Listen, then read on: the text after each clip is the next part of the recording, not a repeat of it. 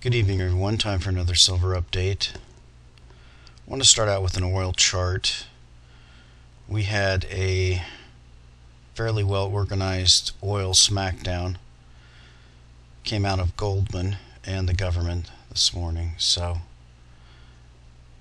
they took oil down from about 113 to 105. So about an $8 drop typical deflation scare. I don't think there's anything behind it. I think they may be setting a stage for Obama's speech tomorrow or just Goldman front running the government and making some money. So don't make much of that. If we take a look at silver, it didn't have a big impact on silver. Let's get to the two hour so we can look at a few things here. We've got a fairly long term trend line here that's projecting 38, 39 going forward maybe. Got a tighter trend line that we still haven't reached. And then we've got our breakout resistance and then support line right here. So you can see the MACD is rolling over nicely. It's well, it's projecting a rollover. You can see right here is a little blip up and then continues down. So sometimes here's another one right here or projected to break through, but it didn't. So we're rolling towards the zero line for a possible breakup. Tonight's probably going to be an indicator of where we're going on this. They're either going to have to hit it really hard tonight or tomorrow morning, or it's going to cross over and we're going to be on, on another up move, continuation of this trend. So as I pointed out yesterday, this action here is really not significant. You can see on a price basis it hasn't corrected as much as this correction did.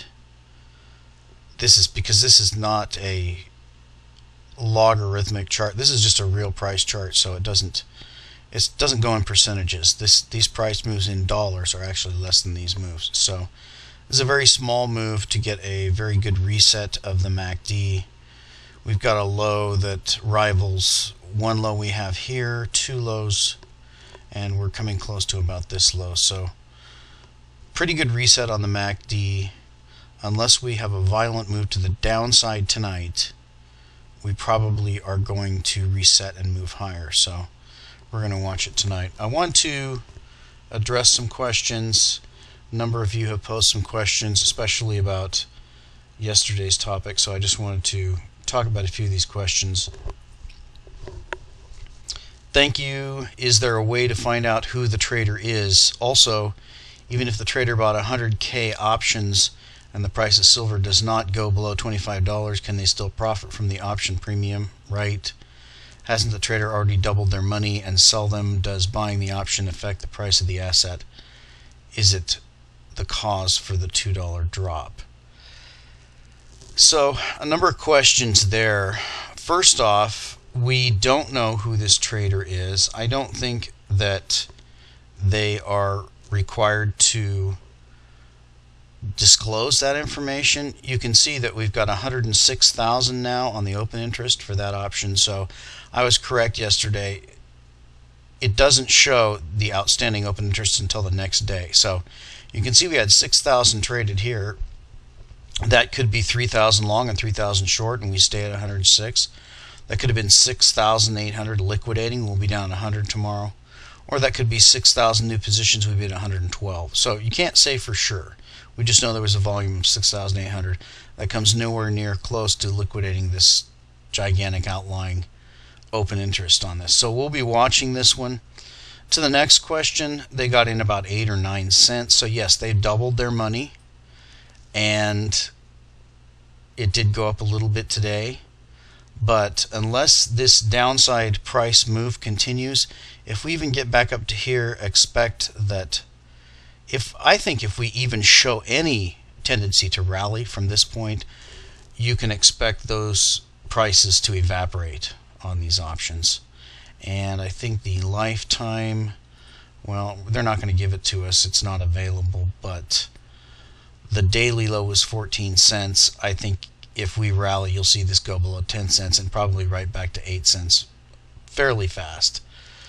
Because the bet that we get to $25 by next July, that's that's a big bet. And that's a big outlier bet. That's a bet on an extreme move. Now the next part of the question was does buying the option affect the price of this asset? Is it the cause for the $2 drop? So that's a pretty complex question. You need to understand that the way options work, as I explained, when someone buys this option, let's get back to the chart. When someone buys any of these options, there is a corresponding option on the other side, that a corresponding position on the other side. So, for example, if I buy a put, I'm long one put, so I buy the 25 July put. I'm betting the price will go below 25. Someone else had to sell that to me. So my gain is their loss. So it's normal to see, and typically these are floor traders that take the other side of these because they're the ones that create liquidity. So when this position was initiated, say 100,000 of these were purchased, someone took the other side. Now, what they normally do when they do that is they, they have to offlay the risk. So if they sold 100,000 puts, then they may offlay that in another, they may buy puts in another contract to try to offlay that risk, or they may go to the underlying. And the underlying in this case is the SLV. So they may have sold those puts and then shorted the SLV to to offset that risk. So yes, the answer is yes, it can be it it can have an effect on the price of the underlying asset. Is it the cause for the $2 drop? I don't know. I wouldn't think that a $100,000 a 100,000 contract position in the SLV could cause a $2 drop in silver. But I, I can't answer that question. I don't know for sure. But yes, it is offset through other markets. They don't just stand there naked and risk losing a tremendous amount of money. They offset it in different markets. And so, same question can the amount of calls or puts placed sway the price one way or the other? Same, same answer. Generally, no. But when you have an extreme position taken by someone, then they may have to not just offset in the option market, they may actually have to go to the underlying and offset that. In that case, yes, it can cause a move in the underlying. But remember, the underlying is the SLV. Now, how does that feed back into the COMEX? So you got somebody taking a position in the options, it feeds back into the SLV, potentially that feeds back into the COMEX, and potentially that feeds back into physical silver. So there's there's a complex chain there, and it's hard to say what the connection is. Some insiders may know. I don't know the answer to that. I just I just believe that, that there's some relationship, but I can't say for sure. Next question. These contracts are for physical delivery.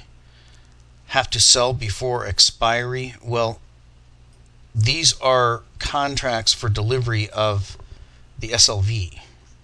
In other words, if these contracts expire before, or if these these contracts are in the money and they hit the expiration date, then they can be exercised. So, for example, if this guy holding these puts, if, for example, on the expiration date of July, let's say the price is $23, that gives this guy the right to sell 100,000 contracts, which is a million shares, or 10 million shares of SLV, because 100 per contract, at 25.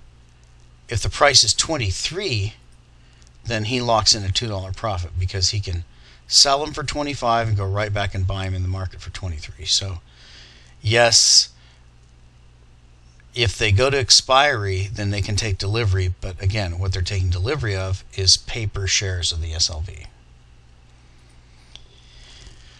Next to the MACD, could you please elaborate on ex how exactly you're tweaking the MACD settings so that it looks like that in the bottom graph?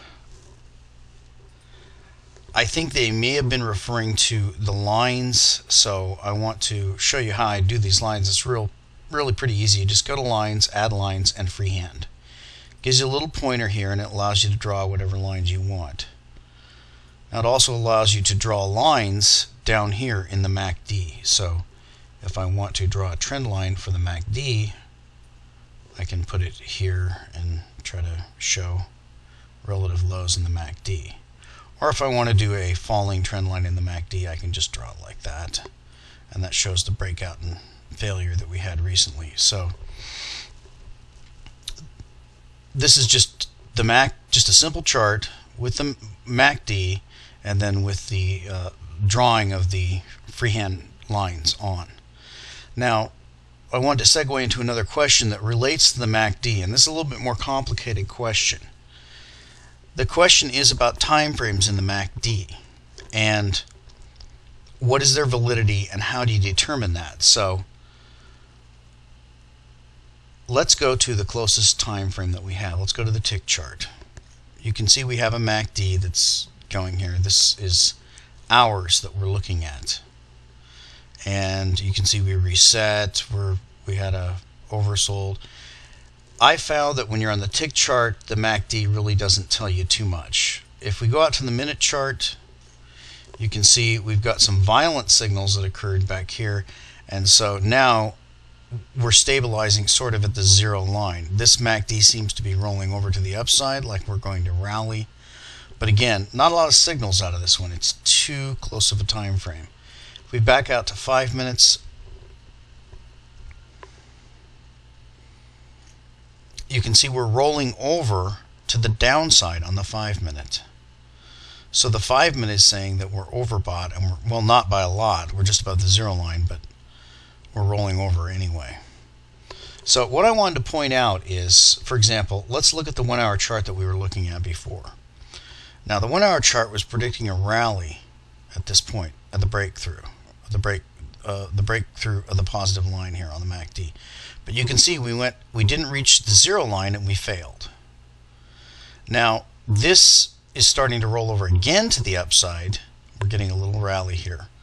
But if we pull out one more step to the two hour, what has got two crosses now? You see a cross there and a cross there, two bullish crosses.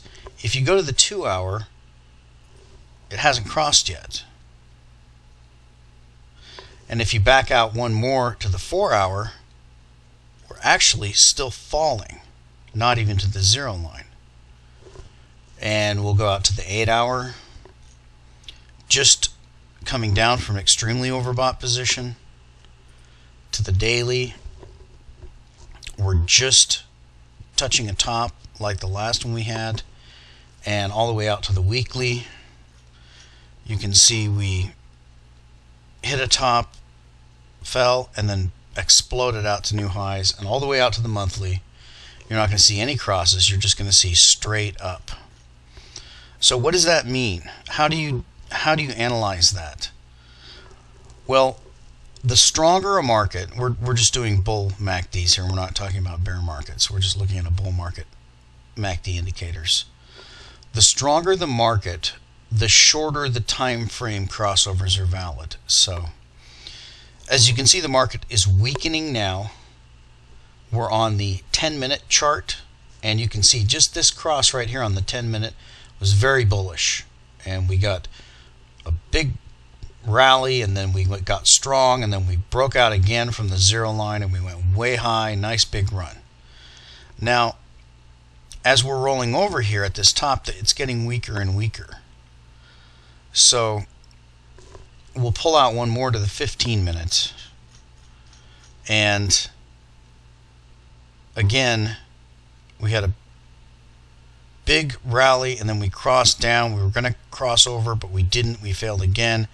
And we crossed, and we would expect this to be a big rally right here, even going to new highs. But we didn't. We actually completely went almost to overbought territory and we failed again. So this pattern we're seeing on the short term is building a flag formation. But the MACD is transitioning. This is the type of thing you see when you transition from a bull to a bear market.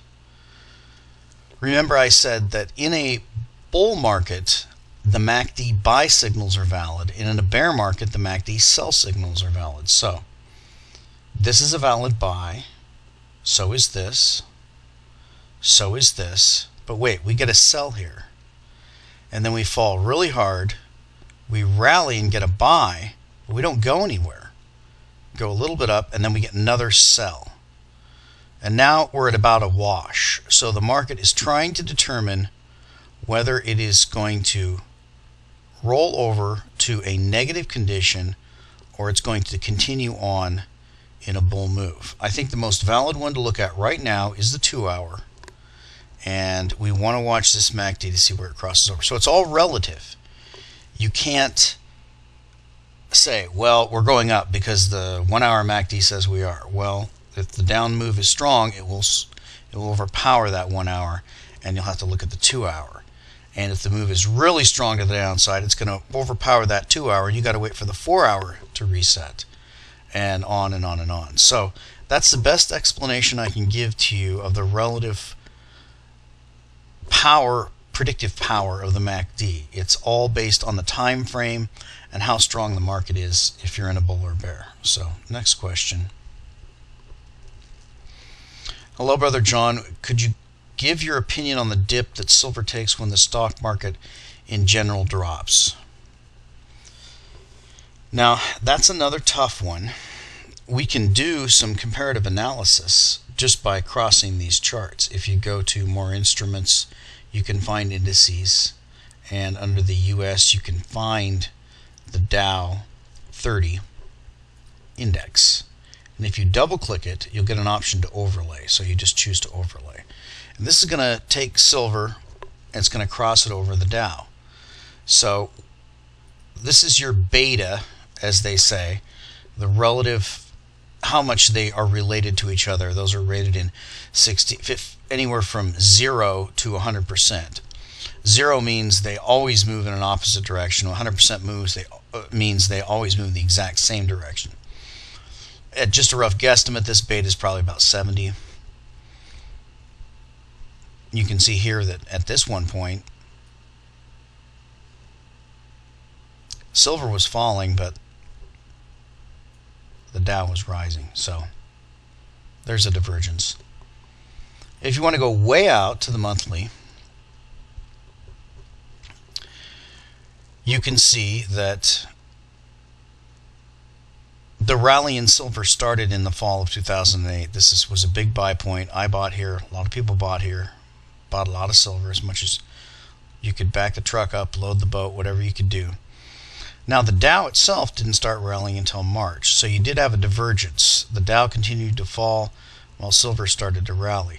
Now, once the Dow started to rally, silver caught up and surpassed it. So this is your Dow silver ratio, which ultimately I expect to go one to one but there is definitely some correlation between these markets would be expected if you're looking at these markets as an inflation play. Anything that has a price, if they're printing a whole bunch of money, except for real estate, of course, but the idea is if they're printing money like crazy, then things that have a price will go up together. So there seems to be a fairly strong correlation with silver and the Dow. We'll go to the daily. You can see that we, in March or so, silver pretty much overtook the Dow on this chart. And the Dow seems to be rolling over. Silver is continuing higher. So there is some correlation. They're just general deflation, inflation scenarios. And if the powers that be decide to do a gigantic deflation scare, such as what they did in 2008, and we'll show that on the weekly, if they decide to crash everything, then they're going to take everything down. And they did. Nevertheless, silver, even though it took a, a big hit, it ultimately recovered, and those of you who followed the physical know that the physical price never even fell. So, pretty hard topic, takes a lot of study to understand it. Can you comment on holding physical silver in an IRA? Well, IRA is a little bit different than a 401k. Your 401k is very limited because your company decides what type of plan you're allowed to invest in. Mostly it's mutual funds. An IRA is a lot more, you have a lot more control. It's the same principle that the profits accumulate without taxes. You get to put pre tax money in. You, you don't pay taxes until you take it out. So IRAs and 401ks are very similar in that regard. But IRAs are much better in the sense that they're self directed. Now, you can hold physical silver in an IRA. I believe, correct me if I'm wrong, you can hold American Eagles, American Silver Eagles, and American Gold Eagles in an IRA. Now, again, what's the drawback? Well, an IRA is just a piece of paper. And you can't control those funds yourself. You can't take delivery of those funds and buy the silver eagles and bury them in your backyard. They're not going to let you do that. You have to have a trustee who runs the IRA. Normally, it's a bank or a brokerage firm or something like that. And guess what? If you're buying silver for the same reason I'm buying silver, then the very reason you're buying it is the reason that this trust that you don't trust could go broke. So, yes, it's better than a 401k, but no, it's nothing like holding physical silver. Now, there are some plans, and I don't know much about them because I'm not a tax attorney and I don't have any IRAs because I work for a Fortune 500 and I have a 401k, but I have heard of self directed IRAs and companies that allow you to incorporate those funds in a non profitable business or a charitable trust complex tax schemes allow you to use the money that you've saved up to run a business and pay yourself. And I, I don't really know how all that works. You might want to investigate that. But as far as my own personal involvement, I say take a loan against, if you have an IRA, liquidate it and buy physical. If you have a 401k, borrow half of it, buy physical. I say buy physical. I'm expect I'm more in the school of Bix Weir. I expect the entire paper market of everything to collapse. I expect all banks to be bankrupt, all governments to be bankrupt, and a complete reset of the system, either through hyperinflation or deflation. I think these IRAs will go with it. And not to mention the chance of government seizure of IRAs. If they seize the 401ks, they're going to seize the IRAs. So that's the best I have on that. And last, I know you prefer to hold numismatic silver. Could you explain why you would pay a higher premium for a coin as opposed to a smaller one for a bullion bar, 1 or 10 ounce? Wouldn't a bar be easier to sell and the premium on it is smaller than the coin? Well, yes, in a sense. There are a lot of 1 ounce bars out there, but I don't know of a recognized 1 ounce bar. I don't know. I, I believe Johnson Matthey and Engelhard, who are the two big 100 ounce bar makers. I don't believe, well, maybe it's just Engelhard is not making bars anymore. Maybe Johnson Matthey is still making bars, but I'm way against investing in 100 ounce bars because you got to drill them or you got to use some test. They can be drilled and filled. They can be fake. They're easy to counterfeit. And I believe the price of silver is going to an astronomical number. And so when I buy silver, I'm thinking about a thousand, two thousand dollars an ounce. So now, why would I invest in numismatic silver? Well, I initially did that for the short run in case I wanted to flip it and buy the cheap bars. But now that it's happened, I've decided I want to hold the numismatics. I like the coins, they're beautiful. And part of the deal for me is the inability of counterfeiters to counterfeit the incredible numismatic designs that you find on Perth or Canadian or American. So I like coins. I don't like bars. I think that you want to go with the most easily recognizable form of silver, the most tradable, the least counterfeitable, and for that reason, I prefer coins over bars. So that's just a personal preference. I suggest you do whatever you think is best, but that's just my opinion. So We're going to go back to the silver chart and we are on the two hour. We're looking for a roll up to the zero line and a rally. I think if we get to 41, we're just going to continue to 45 to 50. If we don't get there, I think they're going to trash it down really hard. Don't know. My last projection was 38, 37, and 31. We'll see. I, I missed on 40. It went a lot higher than I thought it would, but that gave us room to correct back, and we're still above 40, and everything's reset. So the bull market is intact. There's no reason to worry. Time to keep stacking and look for the next buy point. and we'll talk to you next time.